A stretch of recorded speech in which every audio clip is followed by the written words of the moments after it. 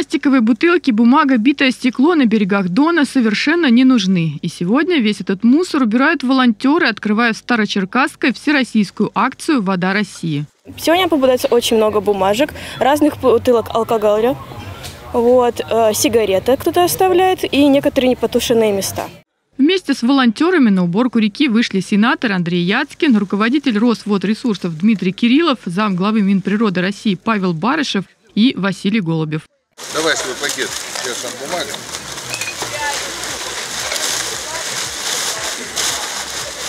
Так, идем дальше.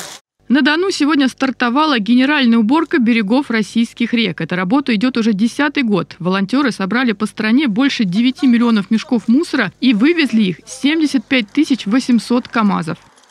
Главная задача, во-первых, это дать старт акции «Вода России», 10-й, юбилейной. И очень символично, что это происходит в станице Старочеркасской, столице, столице Дона, и берега которой всегда омывались нашей замечательной рекой, нашим Доном. И если вы видите девиз пакета, берега добрых дел. Я очень рад, что именно Дон стал первым берегом добрых дел нашей акции. Очень приятно видеть людей, которые э, действительно болеют душой за сохранение великой русской реки Дон.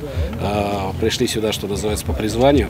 Э, готовы приложить все свои усилия не только к сегодняшней акции, но и с точки зрения вообще каждодневной заботы о сохранении водных ресурсов, наших водных богатств, которые довольно хрупкие уязвимые, хоть, мы, хоть их у нас и много.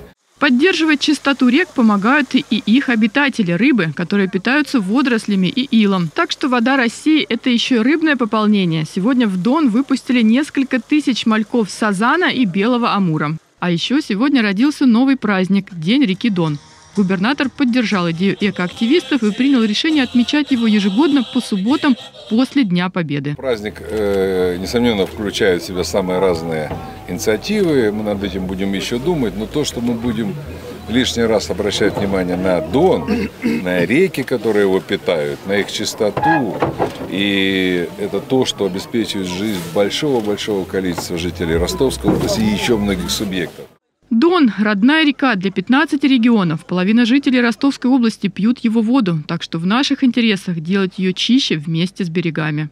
Все вообще, в принципе, очень любят отдыхать на природе, но мы не любим, а, когда рядом находится мусор, и поэтому уборка мусора также является очень важной экологической проблемой.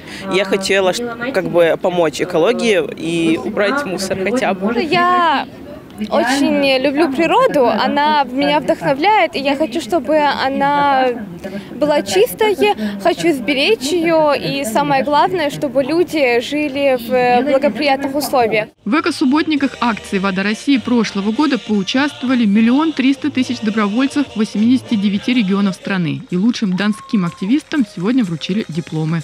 Мария Индрикова, Андрей Токарев, Первый Ростовский.